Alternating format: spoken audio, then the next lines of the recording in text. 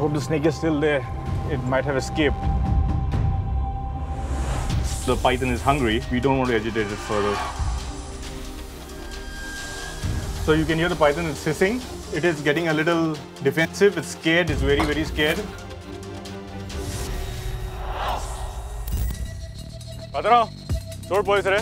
तो इधर ही बैठा हूँ उधर से कितना मुंडी मोटा दिख रहा मुंडी है। था? इतना मोटा है मुंडी इतना मोटा मुंडी. हाँ sir I was moving the stuff around the place and I just happened to see uh, the snake moving. So there it is. Snakes SOS, Goa's wildest, Monday and Tuesday 8 p.m. on National Geographic.